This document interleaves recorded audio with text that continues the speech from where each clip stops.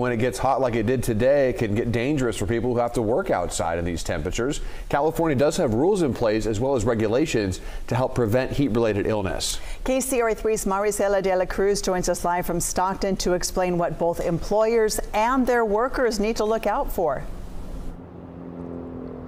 Yeah, Edie, Cal OSHA has guidelines, and today we're out here in Sacramento talking to some people who are working outdoors. And while they do say that um, they do try their best when they can to come in earlier and beat those uh, hottest hours of the day, they also say that when they can't leave early, they do try their best to stay hydrated and take care of each other.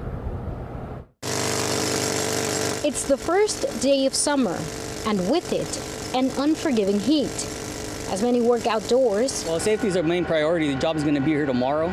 So if we need to cut the workday early because someone's feeling um, fatigued, then that's what we'll do. They're not taking chances and are adding extra members as the day warms up.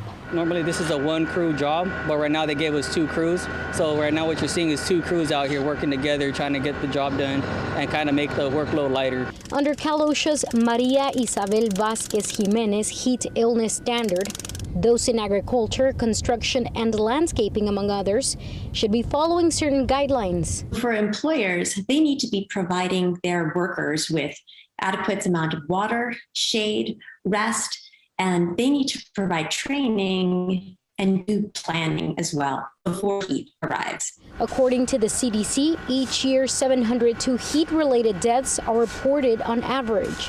And the most vulnerable are those with certain health conditions. Having an underlying health condition can put someone at greater risk. They're in essence, more sensitive to the heat than someone who does not have that health condition. Sherry Belavsky adds that teaming up in pairs is helpful a measure that this crew already took. When we have labor intensive um, tasks that we're doing, we try to partner everybody up so that way they can watch each other's backs in case someone starts feeling fatigue.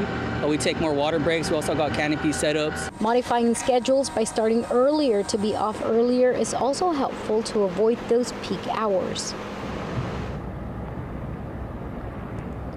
And Sherry Belavsky adds that um, those people who have underlying conditions uh, do tend to um, have a di more difficult time in the heat. Um, live in Stockton, Marisela de la Cruz, KCRA 3 News. All right, Marisela, thank you for the covering that. We appreciate it.